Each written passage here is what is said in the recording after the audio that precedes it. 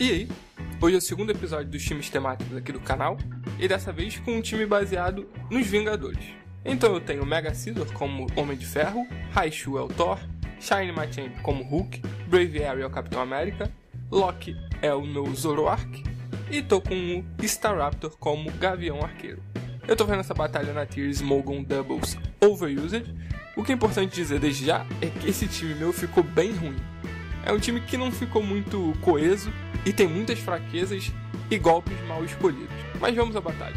Então eu escolhi começar com o Raichu e com o Machamp, porque o meu Raichu tem Fake Out e eu posso inutilizar um dos Pokémon adversários no primeiro turno. O Machamp a escolha foi porque eu achei que ele vinha com Talonflame e ele tem Rock Slide. Mas o oponente veio com o Diggersby, então ao invés do Rock Slide, eu mirei um Dynamic Punch nele, o que foi o suficiente para levar esse Diggersby.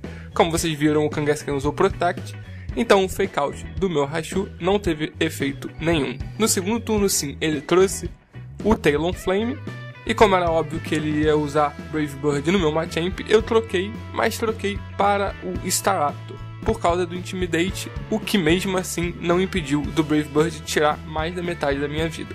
Com o Raichu eu apenas me protegi, o que foi bom porque eu impedi o Mega Kangaskhan de se buffar com o Power Up Punch.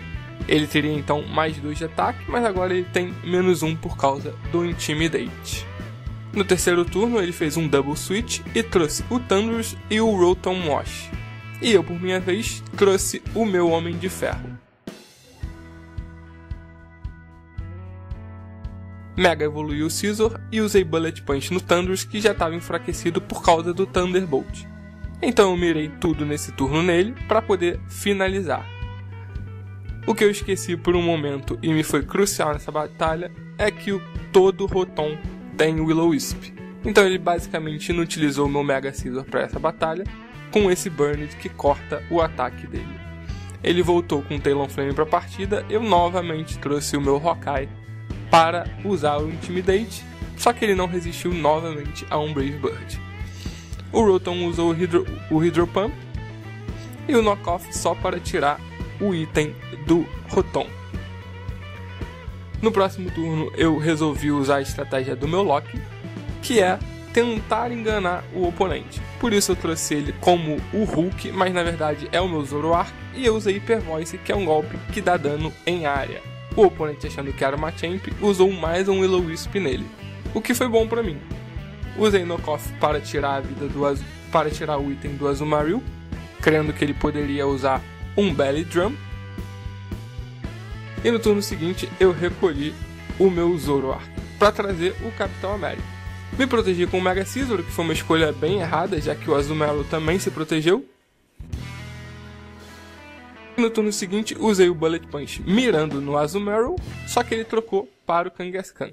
E o Capitão América usou U-Turn, o que foi inteligente da minha parte, porque esse Thunderbolt estava muito previsível. Então eu aproveitei para botar o Raichu e aumentar o especial ataque dele. Finalmente o meu Mega Scizor pereceu para o Burn, então eu usei o Fake Out para inutilizar o Rotom nesse turno e mirar nele todas as minhas forças. Foi importante e o Dynamic Punch tirou ele de batalha, restando assim 3 Pokémon pro oponente e 4 para mim.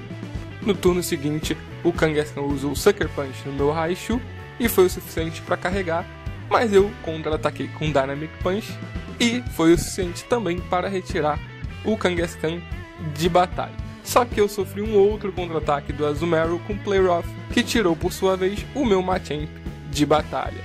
Pro último turno da batalha, eu trouxe o meu Braviary e o Zoroark como Braviary e tudo estava resumido ao oponente saber qual era qual.